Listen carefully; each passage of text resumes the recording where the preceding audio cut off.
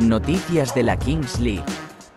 Me imagino que es Peno, como tiene 21 o 22 años, no se le puede hacer ninguna broma sobre la sanción. Es lo que hay. Aquí damos palos y los recibimos. Yo entre ellos. Dime lo que quieras, tuiteame lo que quieras. Durante su último directo, Ibai Llanos reveló que recibió un mensaje de Juan Guarnizo, presidente de Aniquiladores, pidiéndole que dejara de hacer bromas sobre la reciente sanción a su equipo en la Kings League.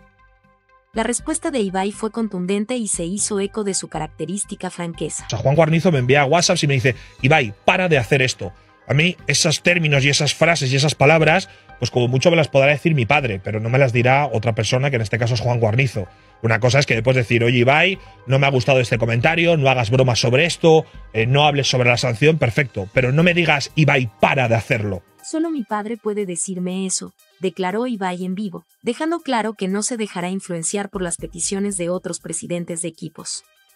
Hizo hincapié en que, siendo un tema reciente, tiene la libertad de abordarlo y hacer bromas al respecto.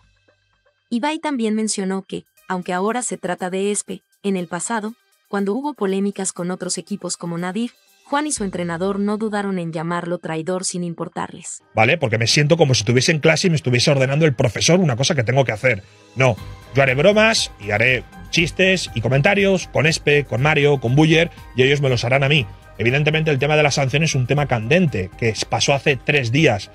Juan, yo creo que no es para tanto. Esta declaración de Ibai ha añadido más leña al fuego en la ya tensa relación entre los presidentes de equipos en la Kings League la situación sigue siendo volátil, y los fanáticos están ansiosos por ver cómo se desarrollará la dinámica entre los equipos en las próximas semanas y cómo influirá en el ambiente de la liga. Sobre todo cuando en el caso Nadir, tanto tú como tu entrenador le llamasteis traidor y demás cosas durante varias semanas.